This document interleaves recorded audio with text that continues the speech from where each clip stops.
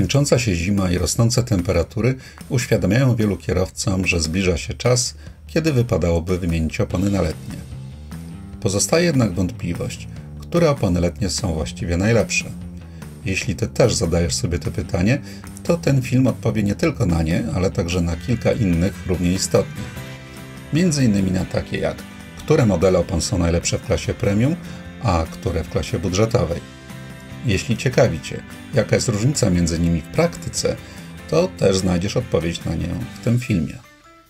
Do testu wybraliśmy 10 popularnych modeli opon letnich w rozmiarze 225-55 R17 z dwóch segmentów premium i budżetowego. Ten rozmiar stosowany jest w wielu często spotykanych autach, takich jak chociażby Audi A6, BMW serii 3 i 5, Hyundai Tucsonie, Mazdzie 6 czy Opel Insigni.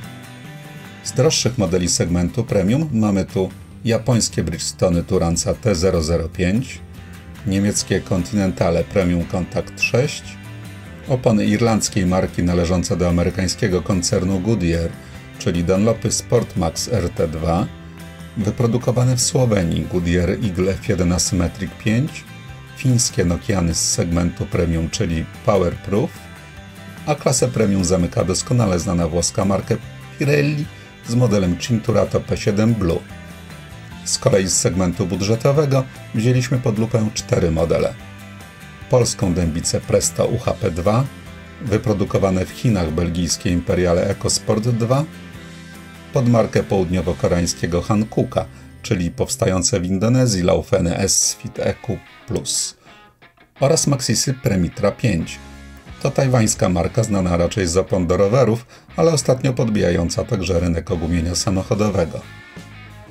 Te 10 modeli opon, w sumie ponad 100 sztuk, zabraliśmy na tor testowy, gdzie wraz z inżynierami i zawodowymi kierowcami testowymi przy pomocy profesjonalnych, precyzyjnych urządzeń pomiarowych dokonaliśmy pomiarów zarówno na suchej, jak i mokrej nawierzchni.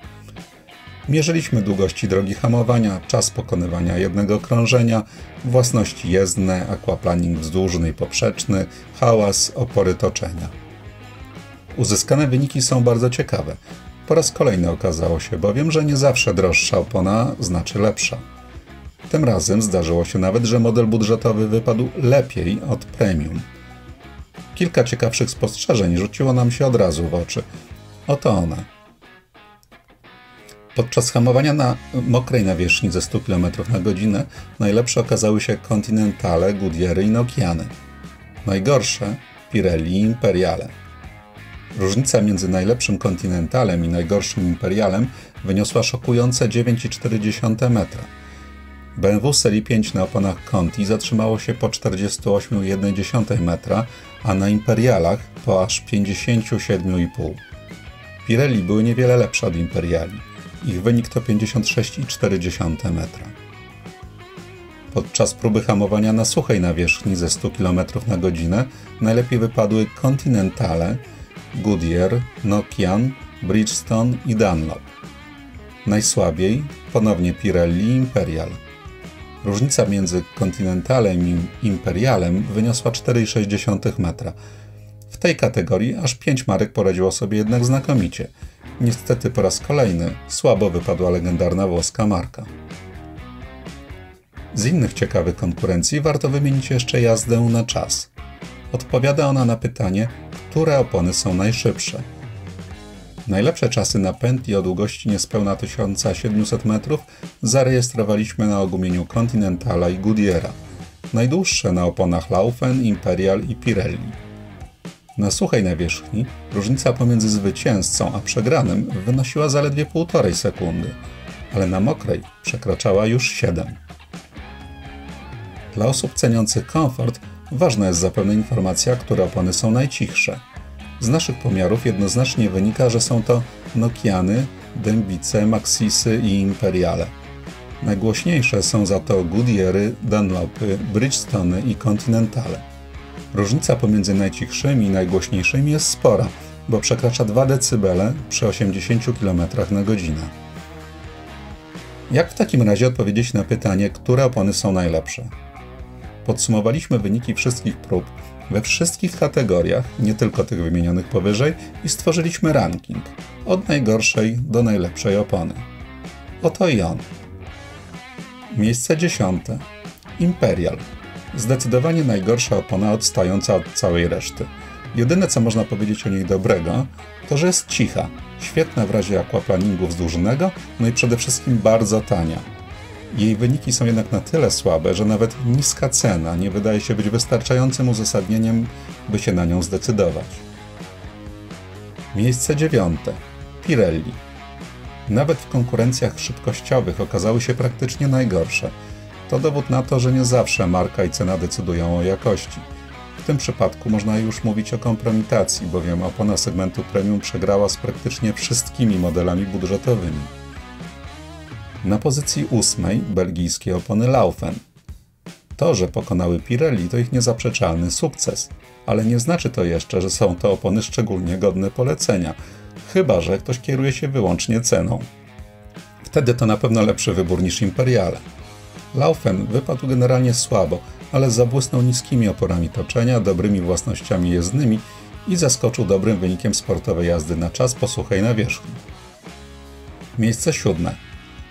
Tu zaczyna się strefa bardzo przyzwoitych opon, a rozpoczynają ją polskie opony marki Dębice, które wybiły się ponad przeciętność niskimi oporami toczenia, a przede wszystkim niskim hałasem. Lepsze pod tym względem były jedynie Nokiany. Za to bardzo słabo Dębica wypadła w konkurencji własności jezdne.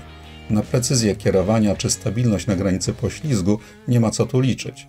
Zdecydowanie nie jest to opona o sportowym charakterze. Miejsce szóste. Maxis. Tajwański producent jest jedną z większych niespodzianek. Jego opona Premitra 5 okazała się być zdecydowanym liderem w klasie budżetowej. Pod żadnym względem nie wypadła źle, zawsze w środku stawki. Stąd i tak wysokie miejsce w rankingu. Miejsce piąte. Dunlop. Niegdyś świetna marka o zacięciu sportowym, ostatnio straciła nieco na swojej świetności i najczęściej zamyka stawkę opon premium. Tak stało się i tym razem. Jest całkiem niezła, ale przy okazji także droga i to czyni ją zdecydowanie mniej atrakcyjną. Miejsce czwarte. Bridgestone. Japońska marka będąca największym producentem opon na świecie od kilku lat wypuszcza coraz lepsze modele. Turanca T005 jest naprawdę dobra, ale wyniki wystarczają na zaledwie czwarte miejsce. Od trzeciego miejsca zaczynają się wygrani tego rankingu. I na tym właśnie miejscu niespodzianka. Fiński Nokian. Niedoceniana marka kojarzona w Polsce raczej z oponami zimowymi. Tymczasem model Powerproof, jak pokazał ten test, radzi sobie znakomicie latem. Miejsce drugie. Goodyear. Jedna z dwóch najlepszych opon w tym zestawieniu.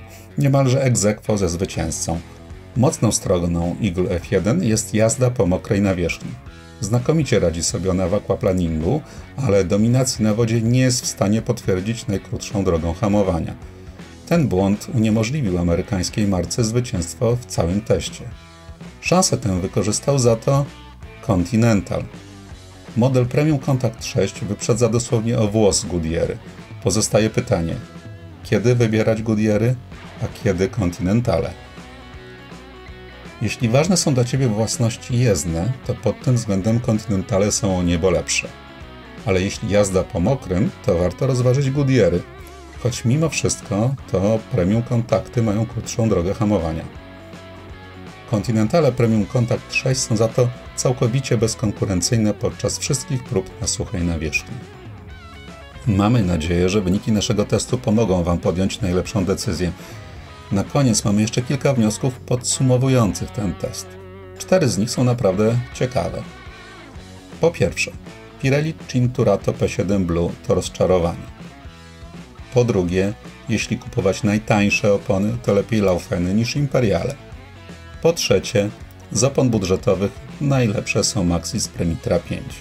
I po czwarte, z ogumienia premium najlepiej wybierać pomiędzy Continentalami Premium Contact 6 i Goodyearami Eagle F1 Asymmetric 5 ze wskazaniem mimo wszystko na Contiego. To tyle, jeśli chodzi o nasz tegoroczny test opon letnich. Nie zapomnijcie polubić ten test i zasubskrybować nasz kanał, jeśli chcecie otrzymać powiadomienia o kolejnych testach. Tymczasem dziękujemy i do usłyszenia niebawem.